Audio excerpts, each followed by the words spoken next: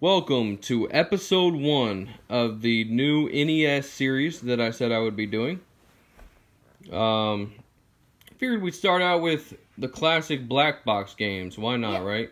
Yeah, yeah. This is what NES is all about. Uh, I love the cover art.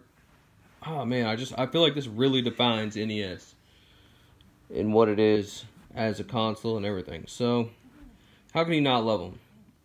So I have every single one of them laid out here, minus um. And we might do an we might do the Virtual Boy testing out game Okay. video. Minus Duck Hunt because Duck Hunt I do have CIB, but it's in my Rob the Robot box, and I did not feel like opening that big box and just to get that. So the only one missing is Duck Hunt, but I do have it. This is the Beast and Gizmo here to join us. Beast from Sandlot, love it. And uh, Lil D wanted to add little baby Jason, so why not? There's a classic Mario. CIB, of course. So, anyways, just want to go through these relatively quickly. Um, I added Rad Racer, Metroid, and Kid Icarus. I think it's how you pronounce it. Icarus, Icarus, however you however you say it. Anyway, um, I, I consider those part of the black box. I think some people don't, but I do consider it. Um, so I added them anyway. We'll start with uh, the DK family. So you got Donkey Kong, which is of course an arcade classic. Well, it says it right there on the game actually. Arcade classic. You got Donkey Kong Jr., which I actually don't like that game at all, to be honest with you. Donkey Kong Jr. Math, which um, it's actually kind of a rare game, a little more expensive, uh, kind of harder to get. Not too hard though. And Donkey Kong 3. I'm gonna be 100% honest with you. I'm not a huge fan of the Donkey Kong series, but I mean, if if I was playing it on an arcade cabinet, I would be. But just like playing on the NES, I don't I don't enjoy it too much. You got, of course, baseball and soccer, and there you got tennis up there too. Sorry for the light. Muscle, little wrestling game. Volleyball. Surprisingly enough, this was one of my last ones to complete NES in general, but especially for the black box games. Wild Gunman. These one oh, got Balloon Fight, which I did not take it. There you go. Balloon Fight's pretty cool. I love the cover art on that one. Clu Clu Land. Oh, this one's actually kind of rare too. Um, more exp expensive too. Stack up. Again, sorry for that light right there. Kung Fu, which is actually a really good game. Pro Wrestling. Slalom. Why are they so hard to pronounce? Slalom, slalom. Agadam Urban Champion. Popeye. Who doesn't love some Popeye though? Gumshoe.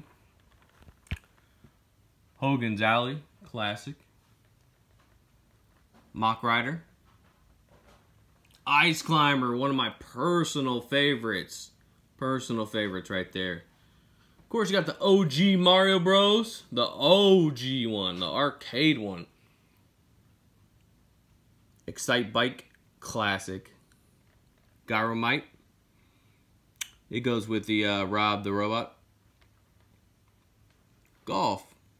Who doesn't love golf? I actually prefer NES Open with Mario, but golf's good too. 10 Yard Fight. And Wrecking Crew. And Wrecking Crew is actually a really good game too. It's actually pretty fun. I have a fun I have a fun little uh fun little fun fact. Uh, so there's a close up on the Mario Bros.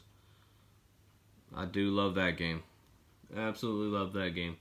It's right up there with Little Samson. But um fun little fact. Um so a lot of these characters are like, you know, okay, we'll use Wrecking Crew for a perfect example. Wrecking Crew. So, you know how that, that looks like Mario, right? Well, I guess it technically is Mario, but the reason why you know, you see Mario kind of occur in a lot of these in, in some of the NES games, but they don't like officially say Mario. Because when NES first started and Mario and all that stuff, um, you, could just use them. Like they, they allow you know people to developers to put them in their games, and things like that. I mean, without like licensing issues or you know things like that. Because I mean, at the time it wasn't you know he's not wasn't as big as he he was just first starting, so he wasn't as big as he is now. But um, so that's why he shows up in a lot of these games that aren't like called Mario, like Mario Wrecking Crew or anything like that. I use that one because that one's a really good example because you can, like in the game you can clearly tell that's Mario. I was trying to trying to find another one here, uh, another example, but I just thought that was a fun little fact. Um, I know there's a couple more examples, but well, obviously Donkey Kong, um, but honestly, I do plan on getting, maybe getting these all CIB.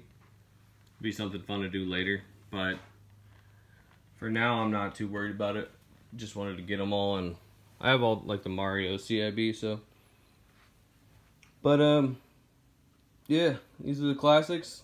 I'd say that if you're not going for like a full set of NES, I would say to go for you know at least go for this as like a subset because they're classics and honestly they're not too expensive. A couple of them are, but they're not really that bad to complete. And Metroid's a good game too. So this is episode one of the series, intro to the NES series, and I will be covering most, if not all, of the NES library. But I want to start with this because this is a uh, shout out to Bomberman Sam. This is like his favorite thing about NES, and uh, definitely one of mine too. So thanks for watching. Stay tuned because I'm gonna do it again.